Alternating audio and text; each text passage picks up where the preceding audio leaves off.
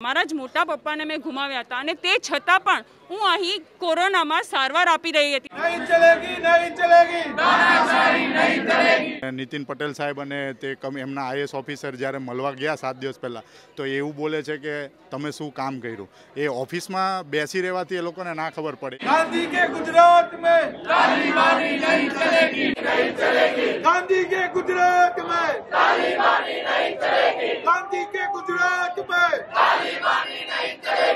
want justice. We want justice. We want justice. JDA का नाम रहेगा हम हमारा हक मांगते नहीं किसी से भीख मांगते અમે અહીં છેલ્લા સાત દિવસથી હડતાલ ઉપર અ, બેઠા છે અહીં ટોટલ ચારસો જેટલા રેસિડેન્ટ ડૉક્ટરો છે જે હડતાલ ઉપર ઉતર્યા છે અમારી જે મુખ્ય માંગણીઓ છે જે સરકારે હમ- અમને કીધી હતી પ્રોત્સાહન માટે કે કોવિડના લીધે અમારા એકેડેમિક લોસના લીધે અમારે જે બોન્ડેડ તબીકો, તબીબો હોય, એમણે વન જેમ ટુ પ્રમાણે કામગીરી બજાવવાની રહેશે.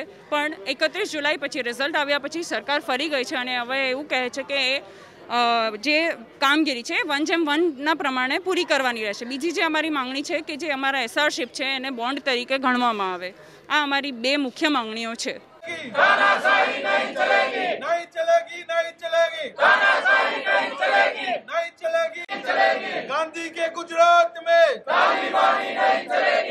चलेगी गांधी के गुजरात में કોરોનાનું જ્યારે લહેર ચાલુ થઈ બે ફેબ્રુઆરી બે હજાર વીસથી ત્યારથી હું કોવિડ ડ્યુટીમાં છું અહીંયા પહેલું પેશન્ટ દક્ષિણ ગુજરાતનું મારી ડ્યુટીમાં આવેલું ત્યારથી હું કોવિડમાં ડ્યુટી કરું છું પહેલી પીક હતી બે હજાર વીસની ઓગસ્ટ જુલાઈ ઓગસ્ટની ત્યારે મારા સગા ફૂઈ પણ એક્સપાયર થયા છે આ જ હોસ્પિટલમાં બીજી પીક હમણાં જ્યારે અ, મે જૂન મહિનાની મે મહિનામાં ત્યારે મારી કઝિન સિસ્ટર થર્ટી થ્રી યરની યંગ મારી ડ્યુટીમાં અહીંયા આઈસીયુમાં પંદર દિવસ રહીથી મારી બેન સાતમા માળે અમારા કોવિડ બિલ્ડિંગમાં અને મારી ડ્યુટીમાં જે એક્સપાયર થયા, એ મેં જ એમને સીપીઆર મતલબ કે હાર્ટ ચાલુ કરવાનું શોખ, મારી તેત્રીસ વર્ષની બેન, સગી કઝિન સિસ્ટર એને આ અને તોય મેં ડ્યુટી છોડી નહોતી.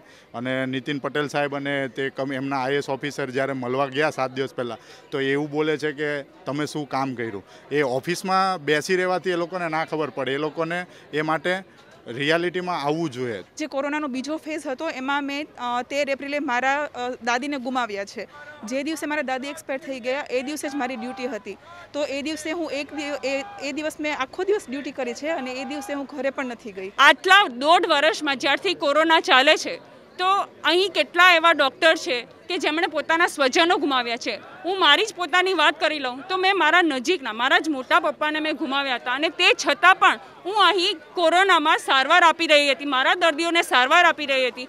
મેં એવું નહોતું વિચાર્યું કે મારા ઘરે આ પ્રોબ્લેમ છે. મેં એવું વિચારતી હતી કે ના, મારા પેશન્ટને પણ મારી જરૂર છે. તો આ બધી વસ્તુ સરકારે જોવી જોઈએ કે અમે અમારા ઘરનાને પણ ભૂલીને આજે લોકોની, પ્રજાની સેવા કરી છે. તો સરકાર કેવી રીતે આ બધી વસ્તુઓ ભૂલી જાય? તો આટલું કામ કર્યા પછી ગવર્મેન્ટ જ્યારે એમ કહે કે તમે કોવિડમાં શું કામ કર્યું, તો એ ગવર્મેન્ટને વિચારવા જેવી વસ્તુ છે. એ બહુ શરમજનક વસ્તુ છે કે એમના શબ્દો પરથી ફરી જાય છે. બાર એપ્રિલનો ઓર્ડર હતો કે આટલે કોવિડ પીક પછી તમારું વન જેમ ટુ જ્યારે તમે એમડીની એક્ઝામ પાસ કરો જુલાઈમાં, તો વન જેમ ટુ એટલે કે એક દિવસ ડ્યુટી કરો તો બે દિવસ તમારા બોન્ડ મુક્તિના ગણાશે. તો આજે પહેલી ઓગસ્ટે ગવર્મેન્ટ એના આવેદનપત્ર બાર ચારના પરિપત્ર પરથી ફરી ગઈ છે અને હવે કહે છે કે વન જેમ વન જ ગણાશે. એટલે અમારી માંગણી બિલકુલ જેન્યુન છે. અમે વધારાનું કશું નથી માંગતા. આ બધું બોર્ડની શરતો એડમિશન વખતે નક્કી જ હોય છે. અને ડિગ્રી મળ્યા પછી એમબીબીએસ હોય તો એક વર્ષ એમને ગ્રામ્ય સેવા કરવાની અને ના કરવી હોય તો દસ લાખ રૂપિયાનો બોન્ડ જમા કરાવવાનો. એના ઓર્ડર થઈ ચૂક્યા છે. એટલે પહેલી તો હું એ સ્પષ્ટતા કરી દઉં. આપના મીડિયાના માધ્યમથી આખા ગુજરાતની જનતાને અને વિદ્યાર્થીઓની જાણકારી મારફત છે જ કે હવે વિદ્યાર્થી નથી.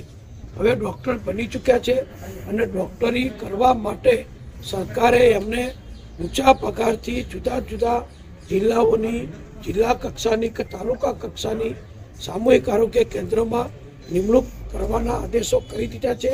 હોસ્ટેલમાં રહેવાનો, કોલેજમાં રહેવાનો, હવે એમને કોઈ अधिकार नहीं गांधी के गुजरात में तालिबानी नहीं